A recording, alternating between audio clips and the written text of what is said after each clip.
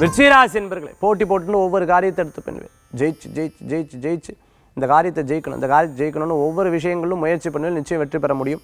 சில விடாமுயற்சிகள் நல்ல லாபத்தை கொடுக்கும்.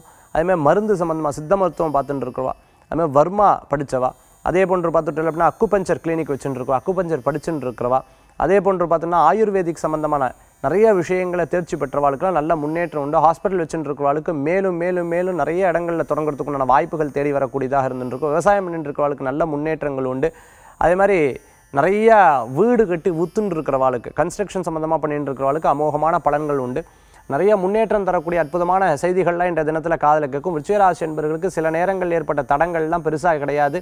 அது அப்போதைக்கு இருக்கக்கூடிய தடங்கள் ஓரிரு மணி நேரம் கழித்து அது சரியாயிரும். எல்லா நபர்களும் உங்களை பற்றி பாசிட்டிவாக பேசணும் அப்படிங்கிற எதிர்பார்ப்பை அறவே தவிர்த்துக்கிறது நல்லது. அதிர்ஷ்டம் தரக்கூடிய அற்புதமான எண் ஐந்து. நிறம் ஊதா வழிபாட்டுக்குண்டான தெய்வம் திருப்பதி வேங்கடநாத சுவாமி வழிபாடு அமோக பலன்களை தரும் அற்புத வழிபாடு.